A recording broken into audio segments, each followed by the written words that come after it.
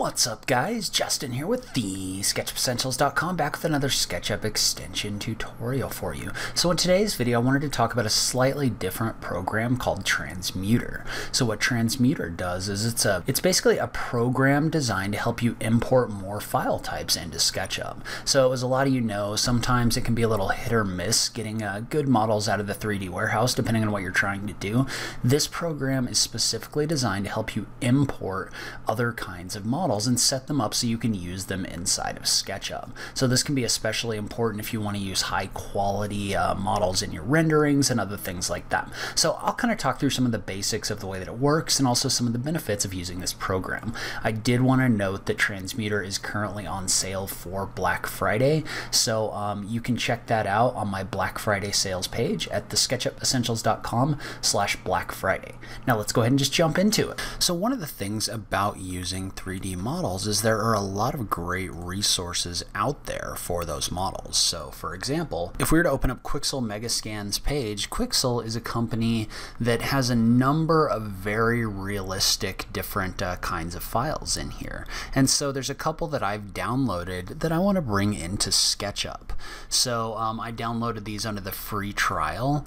And uh, so like for example, there's this really highly detailed cliff model that they have in here that I want to be able to bring into SketchUp. However, if I go into my download settings, my options for the model itself are OBJ or FBX. So SketchUp doesn't import OBJ or FBX files. If you look at this list, those are not included on this list. So if I wanted to use any of these files, I wouldn't really be able to do that just due to the way that SketchUp um, kinds of files that SketchUp can import. However, if I use an extension like Transmutr, this can actually take different file types like 3ds, um, DAE, FBX, OBJ, and STL and convert them into a SketchUp ready um, kind of file.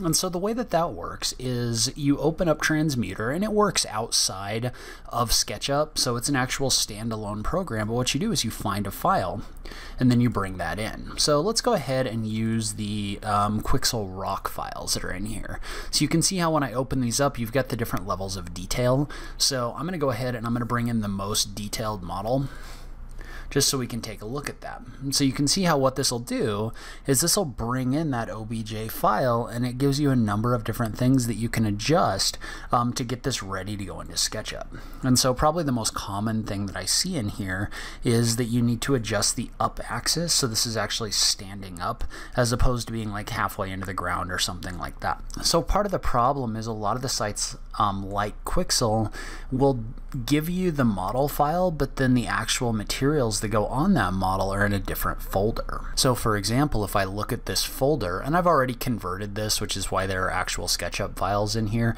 but if you look in here, there's actual image files on here that need to be wrapped around or placed on top of this.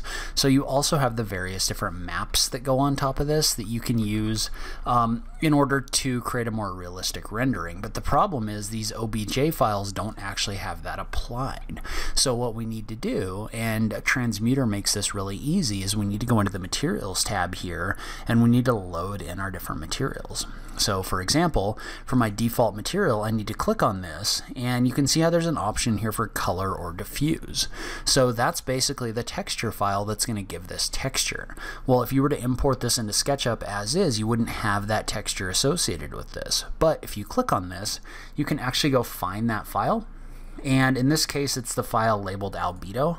And you can see how what this is going to do is that's actually going to bring that texture in and it's already been mapped to this rock file. So all you have to do is just double click on it in order to bring that in. So if you wanted to, if you were just using this for SketchUp, you could go ahead and click the button for Transmute, and you could bring that into SketchUp really easily. However, one of the cool functions of Transmutr is it also has the option to bring in other maps. And so these are the maps that get used inside of your rendering program. So, like for example, the bump map makes your surface look bumpy and more realistic. So you can bring those different maps in here and load them in as a part of this file. So for example, I have a normal map that came along with this. So I'm going to go find the normal map and I'm going to double click on it to bring it in. And I'm going to do the same thing with the uh, reflection map. So in this case, I believe that's going to be your gloss map. And then also, if you have a displacement file, which is something that makes this look more realistic, you can load that in as well. So, like for example, I could go ahead and load this displacement file. That'll show up in V-Ray and make your surface look even more realistic. But once you've loaded all of those in, you then have a choice. So you can either take this file and you can transmute it as is, or you can simplify the mesh, meaning you can make it simpler so that it won't make SketchUp run slower with a ton of different polygons and things like that. Or you can import that as a proxy file. So let's do one of each, or at least a simplified version and a proxy file.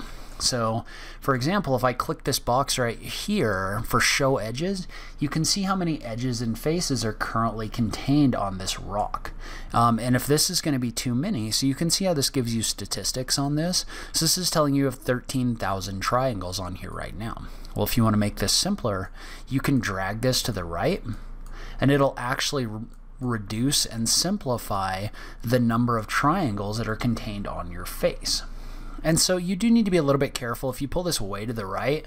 Um, in this situation, actually with this one, this one actually works out pretty nicely. But with some files, if you simplify it too much, you'll start losing faces. So you have to be a little careful here. But you can see I can use this mesh simplification to simplify this object from 13,000 triangles to 5,300. So what this means is this means that you can bring in these very detailed models from external sources into SketchUp without suffering a huge performance performance hit. So let's say I wanted to go ahead and I wanted to bring this fully into SketchUp. I could just click the button for transmute. And what that'll do is that'll allow me to save this as a SketchUp file. So for this one, I'm just going to save this as LOD0 underscore full geometry. And I'm going to click the button for save. And so what that'll do is that'll export that as a SketchUp file. And then now you can see how the LOD0 file is in here and it's a 6 megabyte file, but I can double click on that and I can import that into SketchUp. So you can see how what this allows me to do is this allows me to import this OBJ file in here with all of the different materials and other things like that into SketchUp. And I believe it exported it as an SKP file.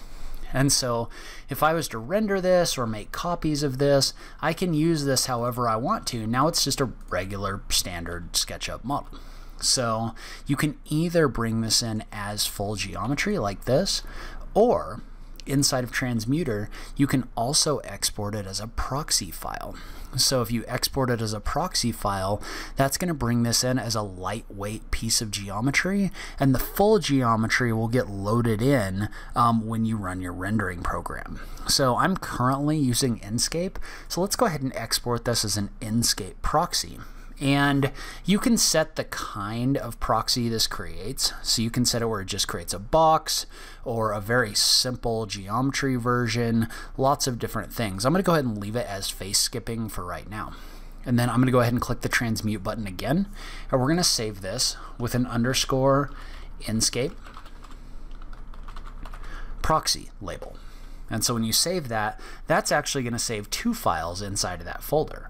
So you can see how there's a Enscape proxy file that's only 210 kilobytes and there's also a full geometry file that stays in the same folder so and that one is 8.93 megabytes and so what'll happen is if we import this into SketchUp so if we do a file import and we want the Enscape proxy file you can see how this brings this in as a lightweight proxy However, let's go ahead and let's make like five copies of it or something like that, just so we can see specifically where this rock shows up.